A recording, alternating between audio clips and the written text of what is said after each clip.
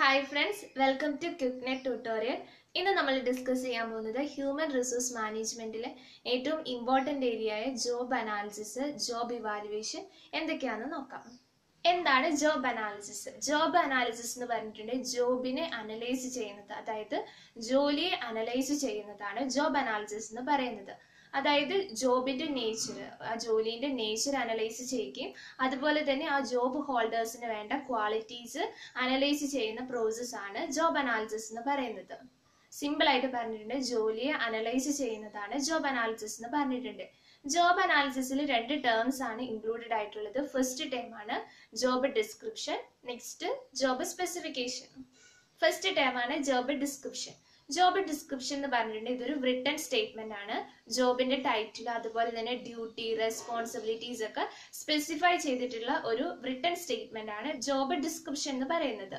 നമ്മൾ വർക്ക് ചെയ്യേണ്ട ആ ഒരു സോഷ്യൽ എൻവയോൺമെന്റ് അതുപോലെ തന്നെ നമ്മൾ യൂസ് ചെയ്യേണ്ട ജോബിൽ യൂസ് ചെയ്യേണ്ട മെഷീൻസ് എക്യുപ്മെന്റ്സ് ടൂൾസ് എന്തൊക്കെ ആക്ടിവിറ്റീസ് ആണ് ജോബിലുള്ളത് എന്നൊക്കെ ഈ ജോബ് ഡിസ്ക്രിപ്ഷനിൽ സ്പെസിഫൈ ചെയ്തിട്ടുണ്ടാകും.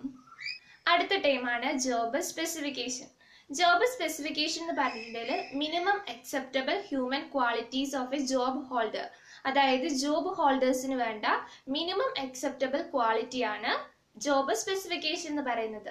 അറ്റ്ലീസ്റ്റ് മിനിമം വേണ്ട ക്വാളിറ്റി ആണ് ജോബ് സ്പെസിഫിക്കേഷൻ അതിൽ വേണ്ട കാര്യങ്ങൾ എന്ന് പറയുന്നത് physical characteristics mental characteristics psychological characteristics and personal characteristics first വണ്ണാണ് personal characteristics personal characteristics എന്ന് പറഞ്ഞിട്ടുണ്ടെങ്കിൽ ഏജ് സെക്സ് എക്സ്പീരിയൻസ് അതുപോലെ തന്നെ എക്സ്ട്രാ കരിക്കുലർ ആക്ടിവിറ്റീസ് ഒക്കെയാണ് പേഴ്സണൽ ക്യാരക്ടറിസ്റ്റിക്സിൽ ഇൻക്ലൂഡഡ് ആയിട്ടുള്ളത്. ഫിസിക്കൽ ക്യാരക്ടറിസ്റ്റിക്സിൽ ഇൻക്ലൂഡഡ് ആയിട്ടുള്ളതാണ് ഹൈറ്റ് വെയിറ്റ് വിഷൻ ഹിയറിങ് അതുപോലെ തന്നെ സൗണ്ട് ഇതൊക്കെ ഫിസിക്കൽ ക്യാരക്ടറിസ്റ്റിക്സിൽ ഇൻക്ലൂഡഡ് ആയിട്ടുള്ളതാണ്. മെന്റൽ ക്യാരക്ടറിസ്റ്റിക്സിൽ വരുന്നതാണ് foresight vision concentration judgement intelligence ഒക്കെ ഈ ഒരു ക്യാരക്ടേഴ്സിൽ വരുന്നതാണ്. സോഷ്യൽ ആൻഡ് സൈക്കോളജിക്കൽ ക്യാരക്ടേഴ്സിൽ വരുന്നതാണ്.